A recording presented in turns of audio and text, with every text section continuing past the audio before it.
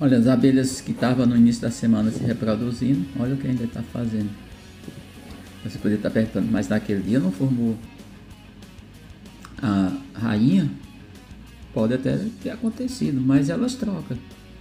Se a rainha foi formada naquele momento não é produtiva, elas eliminam. As operárias faz isso. Então isso é natural, isso faz isso é comum, eu observo aqui diariamente. Eu diria, eu tenho 100 colônias, 140 colônias dessa espécie. A gente vai só observar, olha aí como tem muito alimento, tá bem, tem muitos indivíduos. Uma colônia forte, aparentemente. Até que você está só para olhar. Olha aí como é que elas se comportam. Isso, essa agitação já é comum, eu quando vejo, já sei que uma morta aqui, umas duas ou três mortas dentro dos potes de alimento. E quando eu observo isso aqui, eu já sei. Tem troca de rainha. Ou seja, a rainha não está sendo mais produtiva.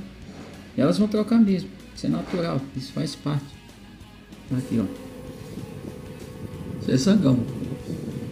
Também elas matam os zangões que não. Chega um momento que não, todos não vão copular. Eles também não vão ficar aqui na colônia, eles não vão ter importância. Não tem importância, elimina. Eu tenho observado que nesse período do ano, que é o período de inverno ainda, só começa a primavera agora em setembro, 22, 23, é um período que as abelhas começam, elas antecipam, começam a soltar as princesas, mas os zangões também, em grande quantidade é o período forte da reprodução. Então, um movimento bonito, essa abelha é muito bonita. De todas as mandaças eu acho a mais bonita.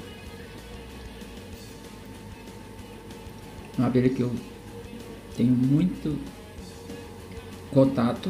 Isso aí começou quando eu era muito criança mesmo, mas ainda naquele período, na década de 60 1960.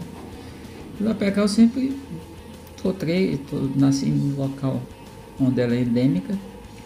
Ela pode ser encontrada em parte de 11 estados da federação, já falei. Além dos nove estados do Nordeste, também no Tocantins, aqui na divisa com o sul do Piauí. E... Então encontramos essa abelha.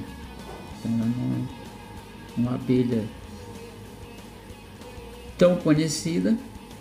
A abelha mais conhecida é a jataí, depois no Brasil a jandaíra. Essas são as abelhas mais conhecidas. Mas a abelha é conhecida também.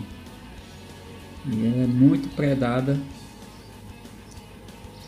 Isso é fato, levada para os carapira. Inclusive apareceu até uma doutora super sumo da sabedoria o ano passado fazendo uma predação na natureza, cortando uma embrana verde né, de um órgão público aqui na região, então no submédio São Francisco, cidade petrolina, e ela fez essa, essa maravilha. E muita gente defendendo, inclusive, é, fosse o pobre lascado, pegava uma cadeia se fosse apanhado pelos órgãos ambientais, mas como é grande, é fantástico. E a gente fecha por aqui o vídeo.